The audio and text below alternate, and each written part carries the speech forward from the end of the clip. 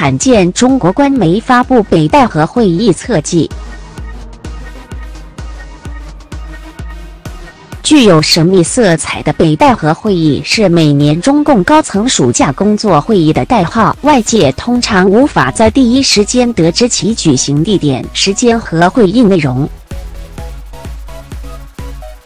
但中国官媒昨日一连发出数则相关报道，包括中国国务院总理李克强在北戴河接见外宾，而另一则新闻则是透露出中国高层对全力发展机体电路等高科技产业的决心。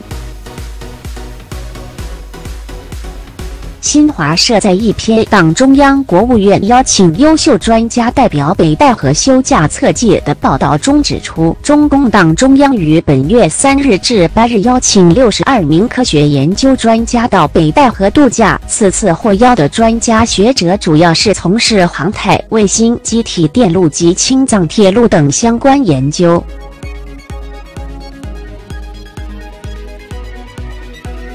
显示这些高科技项目是中国接下来将全力发展的重点。其中一名中国科学院院士、北京大学资讯科学技术学院教授黄如特别对中国机体电路技术受制于人有感而发：机体电路是工业的粮食，是科技强国的必要条件。尽管近年来进步显著，但我们离机体电路强国还有不小的差距。我们这一代人肩负重任，要把国家需求与科研选题有机结合起来，围绕国家急需解决的领域攻坚克难。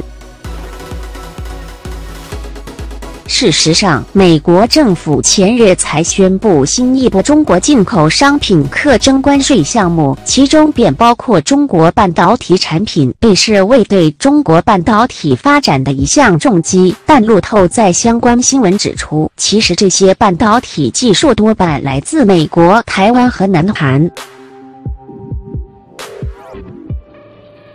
美国之音报道，中国官媒自八月初以来对北戴河会议守口如瓶。习近平、李克强、栗战书等人连续数天没有在《人民日报》上出现，显示中共高层已开启赴北戴河的行程。新华社报道指出，李克强昨日在北戴河接见联合国大会主席，显示北戴河会议已经开始。